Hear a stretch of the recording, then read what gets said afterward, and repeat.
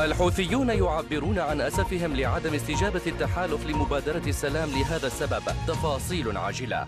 للمزيد من الأخبار لا تنسوا الإعجاب بالفيديو والاشتراك بالقناة. أعرب المجلس السياسي الأعلى التابع للحوثيين عن أسفه إزاء عدم استجابة التحالف العربي الواضحة والصريحة لمبادرة السلام الجاد والدائم التي أطلقها رئيس المجلس مهدي المشاط يوم السبت. وأكد المجلس السياسي الأعلى في بيان أعلنه اليوم أن المبادرة أثبتت وبما لا يدع مجالا للشك حرص اليمن على استعادة السلام وحسن الجوار. وقال في البيان يعرب المجلس السياسي الأعلى عن أسفه الشديد إزاء عدم استجابة الواضحة والصريحة لمبادرة الجمهورية اليمنية التي قدمها الرئيس ويؤكد على أن مضامين المبادرة قد جاءت بالشكل الذي يقدم فرصة ذهبية للجميع في تحقيق سلام جاد ودائم. كما أثبتت المبادرة وبما لا يدع مجالا للشك حرص الجانب اليمني على استعادة السلام وحسن الجوار. وأضاف أن المجلس يدرك تماما طبيعة الخصم وما دأب عليه من التسويف والمماطلة والتلكؤ والتعنت وغير ذلك من الأساليب الملتوية. وهذا أمر بات واضحا ولم يعد مستغربا. وتابع قائلا في الوقت الذي لا يمانع فيه المجلس السياسي الأعلى من أي استجابة إيجابية تحت أي عنوان ومن أي زاوية إلا أنه في الوقت نفسه يؤكد بأنه لا سلام دون رفع الحصار عن الشعب اليمني واحترام سيادة واستقلال اليمن. وشدد المجلس في بيانه على أنه إذا لم يتحقق السلام فإن اليمن قيادة وشعبا يحتفظ بحقه الكامل في اتخاذ ما يراه مناسبا من الخطوات السياسية والعسكرية وبما يضمن انتزاع حقوقه المشروعة كاملة